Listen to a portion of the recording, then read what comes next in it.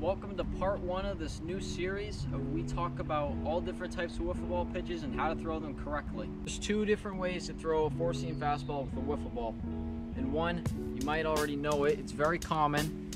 You have the holes facing up top, and two fingers going across, covering a couple of the holes, your thumb on the bottom. And you throw overhand straight to the target.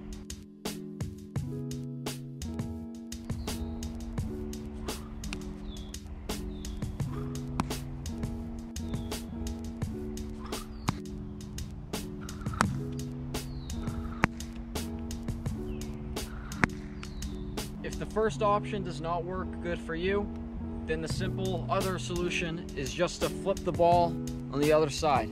Holes facing down, same index and middle finger position, just on the bottom half of the ball.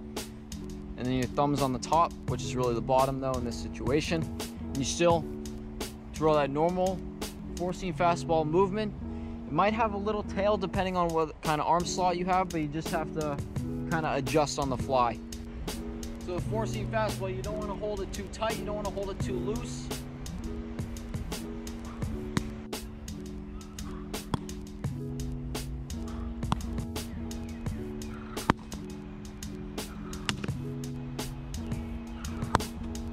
So overall, the four seam is a very controllable pitch. It should be the easiest pitch to learn.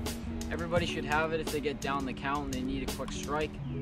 And again, yeah, it's it's basically for control. You don't have to worry about speed all the time, but it'll get you that consistency. That's as simple as it gets. That's the four seam wiffle ball fastball. Stay tuned for next episode where we talk about two seam fastballs and screwballs.